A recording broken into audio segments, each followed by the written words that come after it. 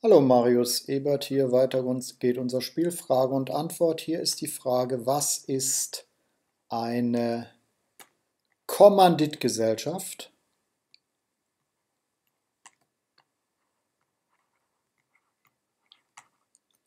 Und die kürzt man auch ab mit KG. Was ist das? Eine Kommanditgesellschaft KG. Nun, es ist leichter, wenn man schon weiß, was eine OHG ist. Denn die KG ist eine Personengesellschaft wie, na, wie die OHG. Eine Personengesellschaft wie die OHG. Die KG findet ihre Rechtsvorschriften im HGB, im Handelsgesetzbuch, wie die OHG. Es ist sogar in der Tat so, dass für die KG die Bestimmungen für die OHG alle gelten und dann noch es ein paar ergänzende Vorschriften für die KG gibt. Ja, also OHG-Vorschriften plus ergänzende KG-Vorschriften. Sie fallen also als KG zum großen Teil auf die OHG-Vorschriften zurück im HGB, im Handelsgesetzbuch. So, dann die KG ist ein Zusammenschluss ein Zusammenschluss von mehreren Personen, um ein Handelsgewerbe zu betreiben. Das ist ja eine Gesellschaft.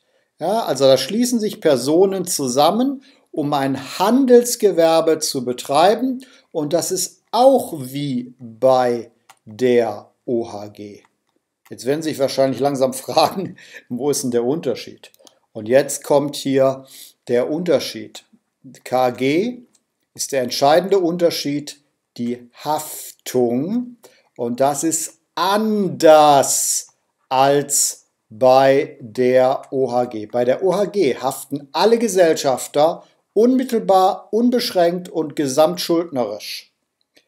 Und bei der KG gibt es zwei unterschiedliche Gruppen. Der eine, mindestens einer, ist der Vollhafter und das ist der Komplementär. Nur bei der KG macht man also die Unterscheidung. Und der andere ist der Teilhafter, sozusagen der, der dem Ganzen hier seine, äh, der dem Ganzen den Namen gibt, und das ist der Kommanditist. Der Unterschied zwischen OHG und KG liegt also ja, in der Namensbezeichnung kann man natürlich sagen, ja, hat man schon mal eine Antwort gegeben, ne, ist eine richtige Antwort. Und vor allem hier in der Haftung. Nur die KG unterscheidet zwischen zwei Gruppen, die unterschiedlich haften. Der Vollhafter, der Komplementär haftet genauso unmittelbar, unbeschränkt und gesamtschuldnerisch wie der OHG-Gesellschafter. Und der Kommanditist haftet betragsmäßig begrenzt und kann die Haftung ausschließen, wenn er seine sogenannte Einlage leistet. Das habe ich an anderer Stelle ausführlich erläutert. Bitte schauen Sie sich diese Videos an, wenn Sie hier nicht sattelfest sind. Ja, das will ich jetzt hier nicht tun, um hier den Rahmen nicht zu sprengen.